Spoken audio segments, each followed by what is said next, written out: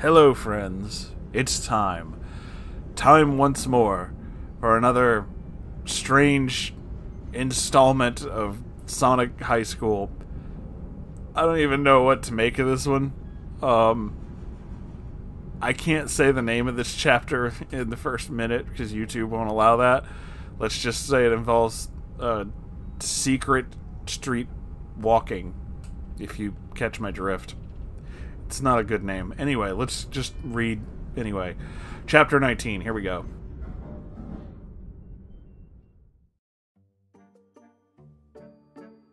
It was now a new day of school, and Sonic went right to school. Sonic had Knuckles and Knuckles Jr. in his backpack since he still had them after explaining what happened to Knuckles yesterday.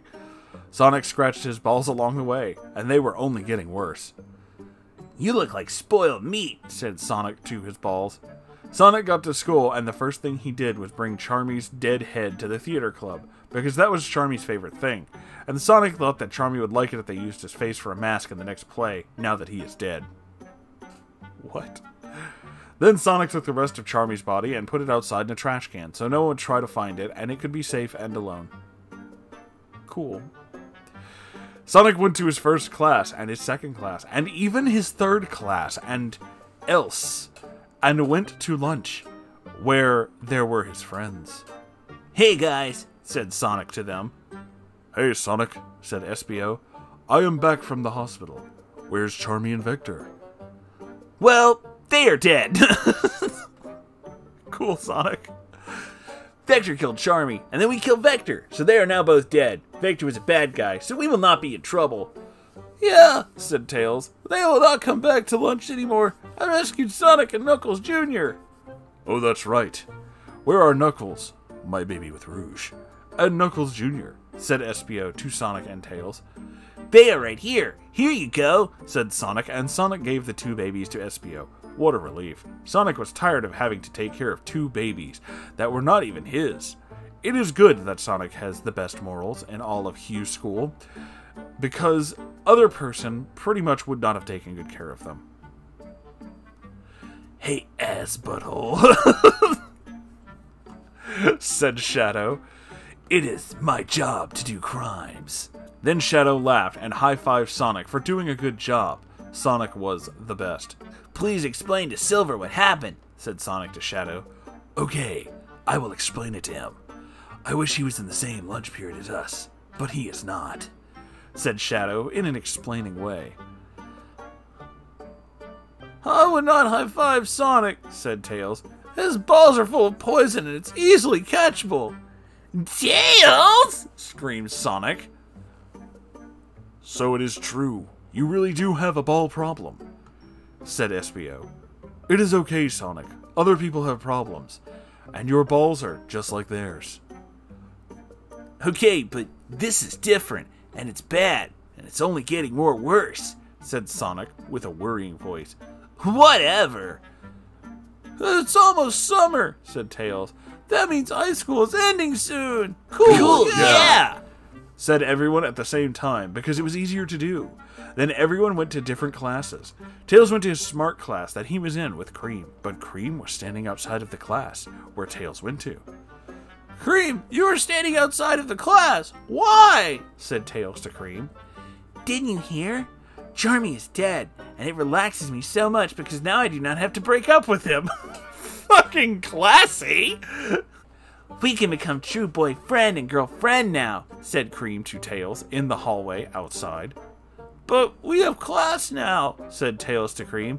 Forget class, smarto, said Cream shoutingly. Cream pulled on Tails' hand until his whole body moved and brought him into a closet in the school. It was big enough inside for sex, is what Tails noticed. Cream locked the door and took off all of her clothing. Tails was so shocked, but he looked at her sexy body, and it looked like a beautiful naked man with a vagina. Okay. Cream took out her vagini and showed it to Tails, and he went nuts. we got a problem over here. Tails going nuts. his penis got hard as a printer because her vagina looked like a cold cut platter. Uh, what? whoa! Whoa! C- cool vagina! Sounded Tails, losing his cool way because he was nervous and excited to miss class and have sex with Cream for the first time. Tails took out all of his penis and balls, which were already ready, and jumped right into her invitation only parts. oh my god. Tails jumped up and down with his penis inside her, cheering like a boy teen and shaking his fists in the air like the Rocky movies, and Cream was happy because she was not a love expert too. Cool. Tails' penis kept getting bigger, and Cream's vagina was already pretty much full of his penis.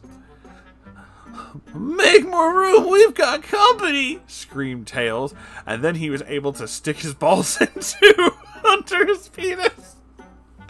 Tails fit so much genitals into Cream that it looked like they were an upside down couch sofa in her vagina.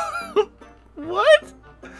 Tails shook all around like crazy, and Cream was slapping her hands and ears into the doors and cleaning supplies in the closet. Cream then was now trying to make him even more sex powered by pulling on her boobs far enough to touch his face like two big melty gummy bears on her body.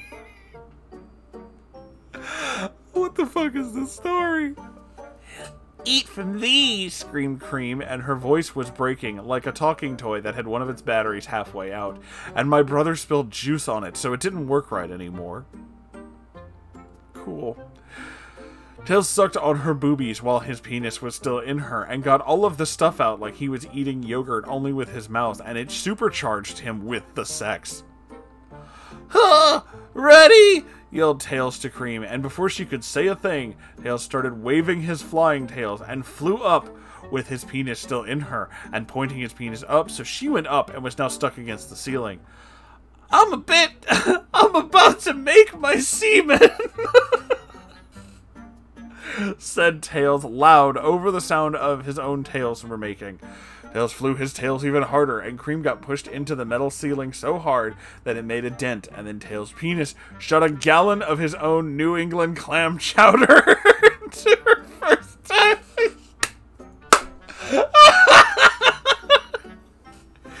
it got over full and spilled plenty on the ground, but not that both of them cared. Tails slowed down his tail speed, and his penis got smaller, and so did her vagina, and they were both out of breath. We are true boyfriend and girlfriend now, said Cream, and hugged Tails. Tails was so happy and shocked that he became true boyfriend and girlfriend before Sonic did with Amy. Cream put her clothing back on and left Tails to put his on too. He then looked at his penis and saw a golden ring on it. What is this? What is it doing here? A big gold ring? said Tails and took off the bracelet of his penis. Why was this in Cream's vagina? He thought. He thought about it, and because he was smart, remembered where he saw this thing. At the end of school, Tails ran to Sonic privately and said, Sonic! Sonic, look! What's that? said Sonic to Tails. A big gold ring? Cool, let's sell it for cash. No! said Tails to Sonic. This is Amy's bracelet. I found it in Cream's vagina. you know, as you do. what? said Sonic to Tails. How did this get in there? He took the ring and had it. I can only think of one thing, said Tails to Tails. I do not mean to suggest this to you and say that she is being a bad girlfriend, but maybe Amy was giving Cream the hand sex. What? No way! shouted Sonic to Tails. But that is the only thing that makes sense. Amy cheated on me. That loose woman. She she is a concubine and a bitch. what is this? What, what, where do these words fucking come from? Sonic got madder than Tails ever saw him get mad and ran off fast. Sonic did not know where he was running to, and to be real, he was not running anywhere. He was running in a really big circle around the town and crying and screaming because Amy cheating on him made him feel worse than anything. Sonic ran around for hours until all of his feelings were out, and he was tired from running and being sad and mad and feelings that are hard to say what they are. He stopped and said, There is only one thing that can make this situation better. I have to tell Amy that I know. Maybe she will say that she is sorry. Sonic went back to high school and over to the detention room. The security guard was standing outside, but Sonic used his Sonic speed to run over and punch him so hard in the throat that it closed up for a while. He became unconscious. That's, that's how it's spelled. Sonic took a key from off of his keys thing and opened the door to the detention room and saw Amy and Rouge in the corner. Amy and Rouge were both sleeping, and they looked really skinny and hungry. It made their boobs look bigger, but they also looked like steps from death. They had been in detention for days, and they had not eaten or drinking at all. Sonic looked at Amy and felt bad for her. It'd be so easy to have sex with her right now. Jesus, Sonic! said Sonic behind his face, in his head, not out loud. We could become true boyfriend and girlfriend, and I could pretend like none of this did happen.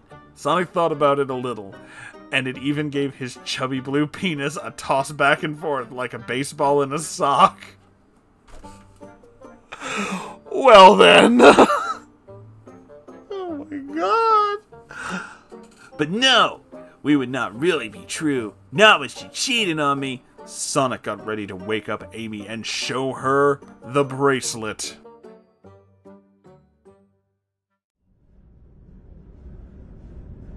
That is the end of this chapter.